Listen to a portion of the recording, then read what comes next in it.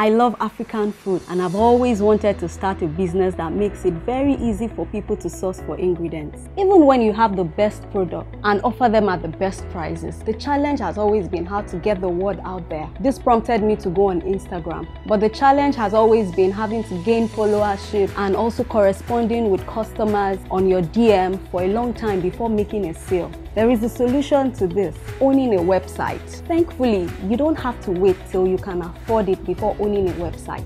Since I created my storefront on QuickTeller Business, it has been a fun and amazing journey. You can generate invoices quickly and easily. I even send payment links directly to my customers on Instagram without having to send them my account number. My name is Ifeoluwa Ajala and I agree everything is possible with QuickTeller Business.